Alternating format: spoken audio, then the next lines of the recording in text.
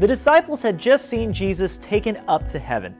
Before he was taken up to heaven, he gave them a giant task to tell everyone in the ends of the world who Jesus was and his message of forgiveness and salvation.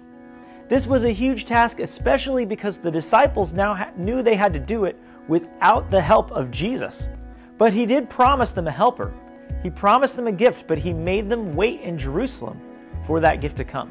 And so the disciples sat huddled together in a room, waiting for their gift. Have you ever had to wait for a gift or a surprise? Have your parents told you there's a surprise coming, but you don't know when you're going to get it? Or maybe you have to wait for Christmas morning or your birthday.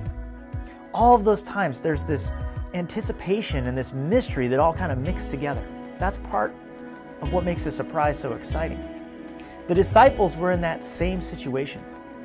God had promised them a gift, but they weren't quite sure what it was going to be or when it was going to come.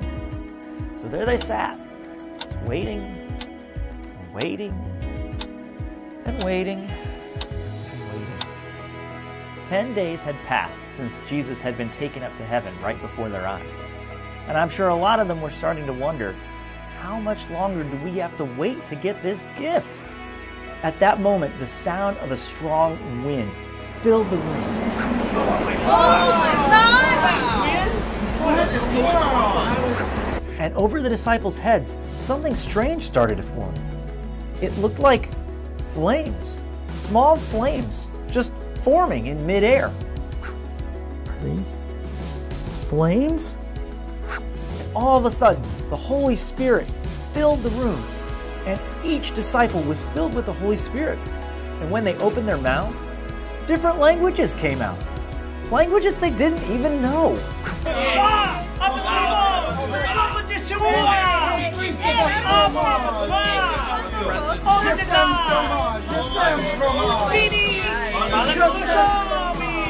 At the same time in Jerusalem, there was a feast going on called Pentecost.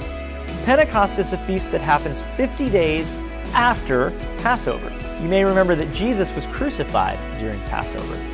And Pentecost would draw people from all over the surrounding countries and they would descend on Jerusalem for this feast. So there were people that spoke a lot of different languages, all in Jerusalem at the same time. In all the excitement, a huge crowd had soon gathered around the building where all of the disciples were speaking in different languages. This has got to be amazing. I've never anything like this. And they were surprised to find out that people were speaking their hometown language. Are you speaking Egyptian? I heard them say something in Latin. I heard something in Greek. Oh my gosh, I heard somebody speak Mesopotamian. I heard someone say something in Assyrian. People were interested because they'd heard their own language being used to praise God, and it's something they'd never heard before. They couldn't believe that a couple of guys from some rural place like Galilee would know their languages.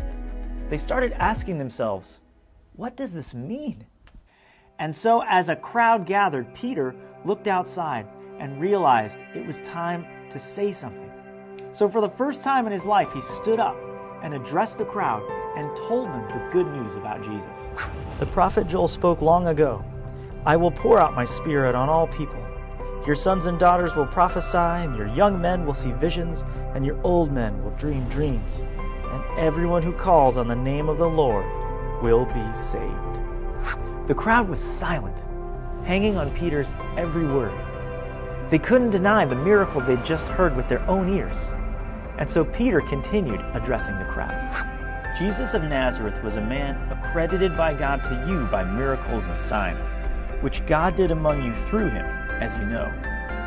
He was handed over to you by God's set purpose, and with the help of wicked men, he was put to death by being nailed on a cross. But God raised him from the dead, freeing him from the agony of death because it was impossible for death to keep its hold on him. What Peter was saying could have easily gotten him arrested.